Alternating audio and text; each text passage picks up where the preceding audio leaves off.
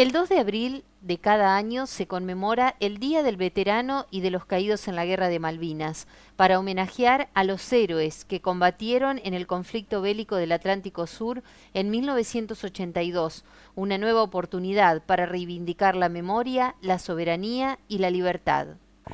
El 12 de abril fue algo que, como dice inicialmente, la gente como para involucrar, por eso la historia no es, de, no es de uno, sino es del conjunto,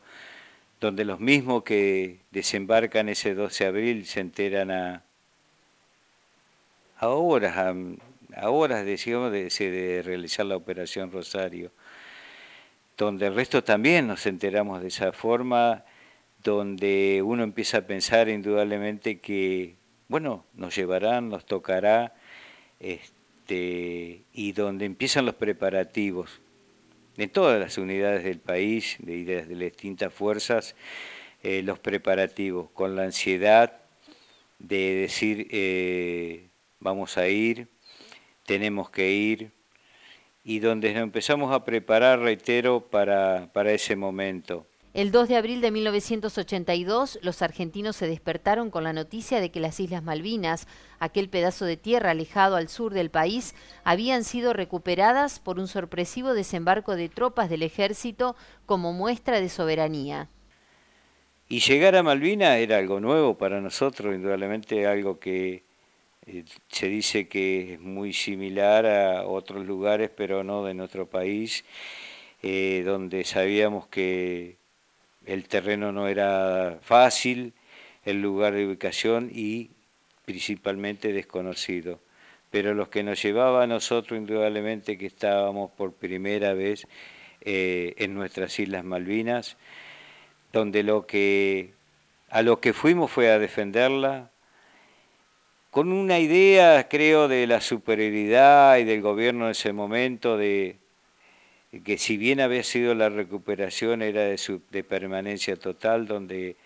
había que mantenerla. La guerra de Malvinas fue un último intento del régimen militar de revitalizarse ante el desastre económico y social generado por el proyecto instaurado en 1976 y frente a las denuncias de violaciones a los derechos humanos que se hacían escuchar en el exterior. La guerra de Malvinas fue un manotazo de ahogado que duró desde el 2 de abril hasta el 14 de junio y costó la vida de 649 personas, entre ellos oficiales, suboficiales y jóvenes de 18 años que cumplían el servicio militar y mutilaciones y heridas a casi 1.300, además de secuelas psicológicas que llevaron al suicidio a más de 350 excombatientes. Esto de permanecer viva la causa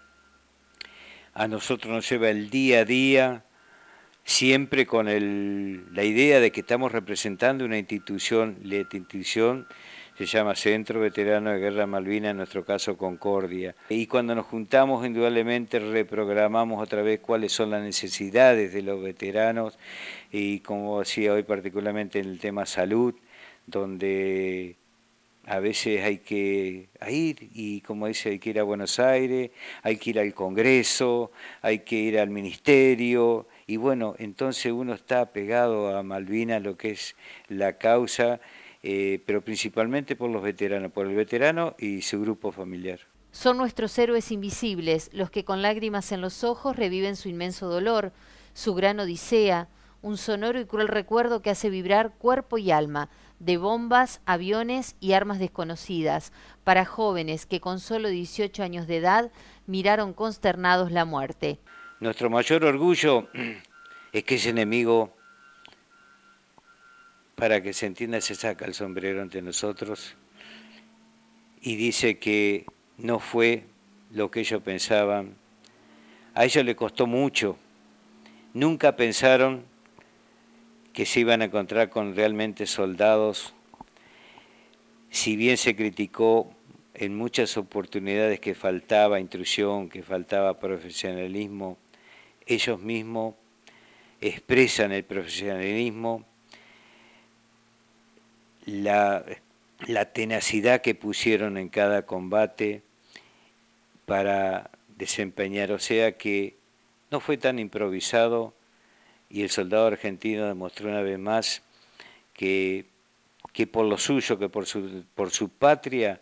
es decir, lo puso todo. Recordamos con esta fecha el pasado, no solo con la esperanza de que no se repetirá, sino con la convicción de evitar que la propaganda del vencedor se convierta en la historia oficial del vencido.